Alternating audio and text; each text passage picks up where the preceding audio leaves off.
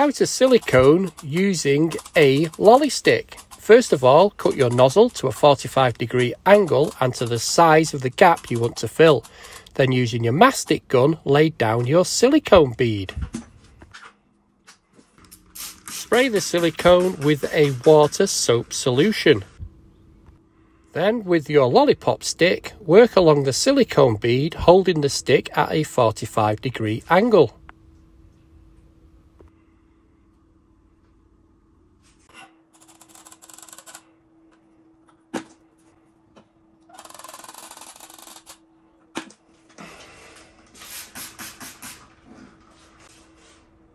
To remove the excess silicone off your lollipop stick, just wash it in a bucket of cold water and off it comes.